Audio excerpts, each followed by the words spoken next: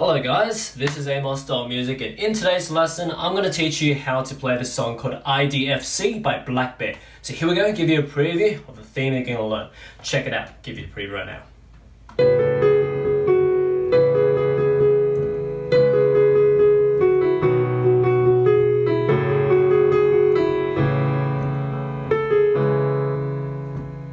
Repeat it.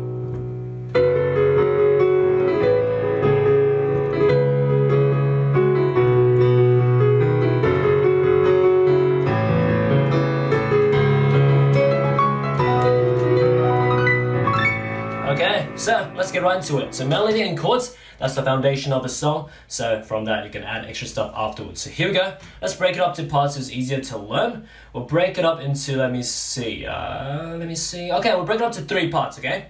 First part goes like this, right starts on the B here, middle C, just go to the B here. It goes B, A, and then three G sharps, F sharp, and then back up to B, and down to G sharp four times. One, two, three, four. That's it for the first part for the right hand. Okay, let's do it again. So it goes like this. It goes B A G sharp G sharp G sharp F sharp. Back up to B and then four G sharps. Two, three, four. That's it for the right hand. Once you get the right hand there, left hand two chords here. The two chords are F sharp minor, which is F sharp A C sharp, and second chord is A major, which is A C sharp E. So with these two chords in mind, so F sharp minor and A major, the two hands together goes like this. B and F sharp minor together.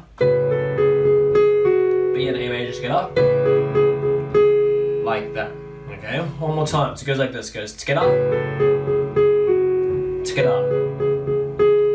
There you have it, okay? So, that's the first part. Moving on to the second part, Ryan continues. Goes B and then four G sharps. One, two, three, four. And then F sharp, E, and then five F sharps. One, two, three, four, five G sharp. That's like that. And there you have it for the second part. One more time. It goes like this. It goes B, four G sharps, one, two, three, four, and then F sharp, E, and then five F sharps, one, two, three, four, five, G sharp. That's it for the right hand.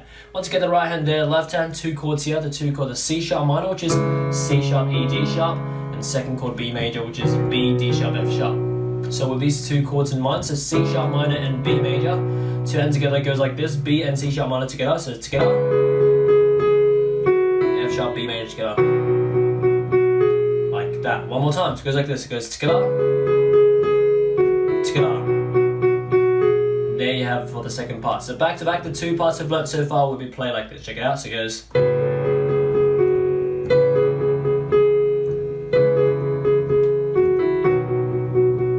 And there you have it.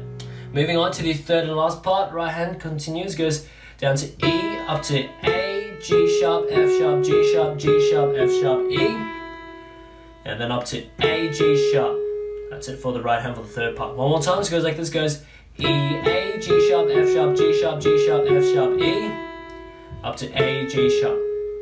Okay, that's the right hand. Left hand, we just have the four chords here. The four chords are actually these four chords that make up the first and second part. So if you remember that, that's F sharp minor, A major, C sharp minor, and B major in this order. Okay? So with these four chords in mind, the two hands together goes like this. Right hand starts on the E, A and F sharp minor together. After E, A major by itself. Hand continues. After G sharp, C sharp minor by itself. And then B major by itself. Like that. One more time, it goes like this, goes together. Here. Here. Here.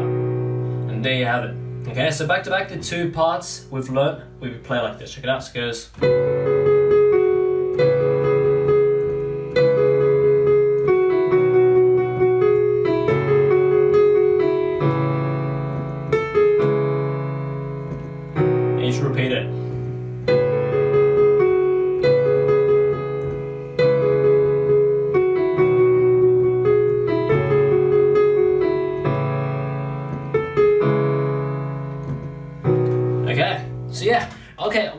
Thing is the third part. Okay, if you want to actually play like the original where it starts off the song, the third part sometimes the last two notes instead of A G sharps you can do the two C sharps next to the middle C. So you go like and then two C sharps like that. Yeah, and then the second time play through you play what you learnt in this lesson. But anyways, yeah, so that's something for you to think about uh, if you want to play more to the original. Okay, but anyways, after you practice all these parts, all the melody chords, all the notes and rhythm correctly, with all the um, yeah, uh, all the notes like played consistently. Like once you repeat it every single time, it's still consistently correct. Then you can start to add other improvisation and decoration patterns to it to make it more awesome. Left hand can do like octave and arpeggio patterns or rhythmic patterns. Right hand you can harmonize it based on those respective chords. Okay, so it can be like.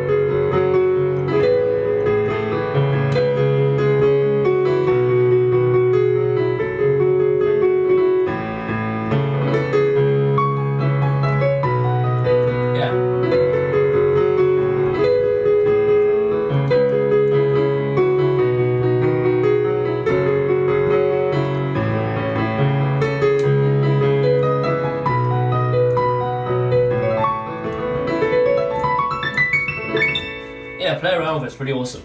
Okay, and that's pretty much it. Hope you enjoyed this lesson.